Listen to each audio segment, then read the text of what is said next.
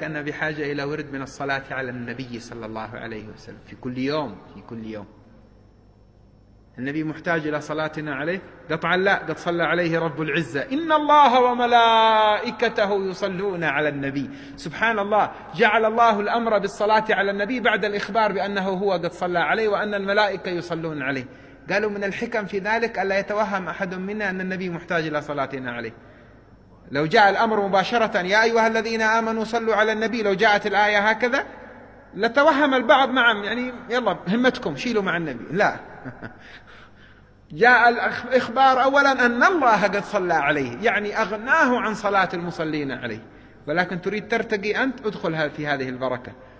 اشتغل بعمل نسبه الله تعالى إلى نفسه وعطف عليه ملائكته فيه.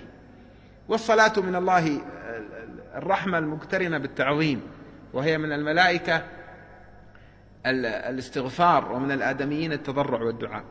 تأمل لما لما لما جاء الأمر بالصلاة على النبي ذهب الصحابة إلى المصطفى وقالوا له يا رسول الله عرف علمنا كيف نسلم عليك. نقول السلام عليك أيها النبي ورحمة الله وبركاته. علمنا كيف نسلم عليك لكن كيف نصلي عليك؟ قال لهم قولوا اللهم صل على محمد وعلى آل محمد. إلى آخر الحديث تأملوا قال قولوا اللهم صل طب نحن هنا صلينا عليه أو طلبنا من الله أن يصلي عليه؟ أنت صليت عليه أو قلت اللهم صل عليه؟ أنت طلبت من الله أن يصلي عليه فصلاتك عليه أن تطلب من الله أن يصلي عليه. أما حقيقة الصلاة عليه لا يقوم بها إلا رب العزة سبحانه وتعالى هو صلى الله على سيدنا محمد وعلى آله وصحبه. الصلاة على النبي فيها تفريش كروب فيها قضاء ديون فيها قضاء الحوائج فيها حديث وردت بذلك الصحابي الذي قال يا رسول الله كما أجعل لك من صلاتي قال ما شئت هذا حديث حسن والبعض رفعه إلى الصحة. قال ما شئت قال أجعل لك ربع صلاتي. يعني ربع أوقات الأذكار بعد القرآن والأذكار الواردة أجعل الوقت كله بعد ربع الوقت صلاة عليك. قال ما شئت وإن زدت, زدت فخير. قال أجعل لك ثلث صلاتي. قال ما شئت وإن زدت فخير. النصف ما شئت وإن زدت فخير. يا رسول الله أجعل لك ثلثي صلاتي. قال ما شئت وإن زدت فخير. يعني على كيفك؟ لو زدت خير.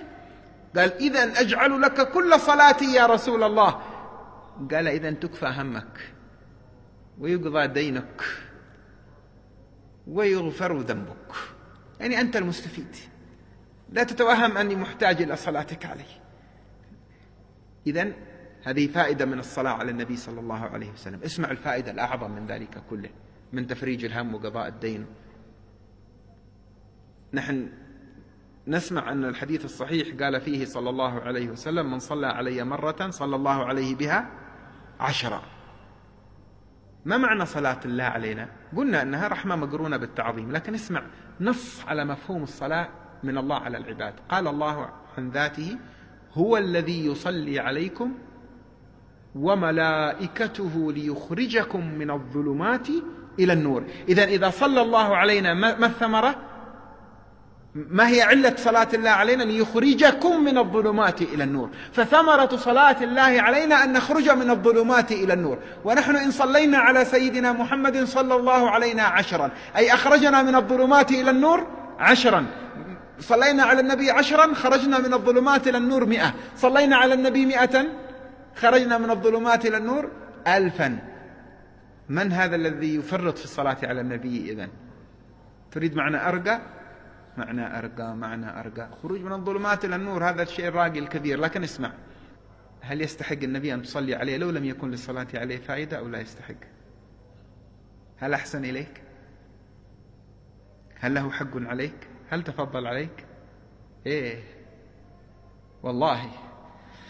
ما أحسن إلينا أحد في الوجود من الخلق كإحسان سيدنا محمد أبدا.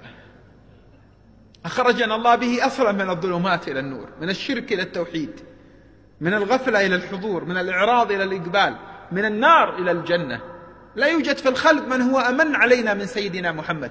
لو لم يكن في الصلاة على النبي وعود عظيمة كالتي ذكرناها يكفي إن صدقت في حبك لرسول الله أن تمضي وقتك في الصلاة والسلام عليه.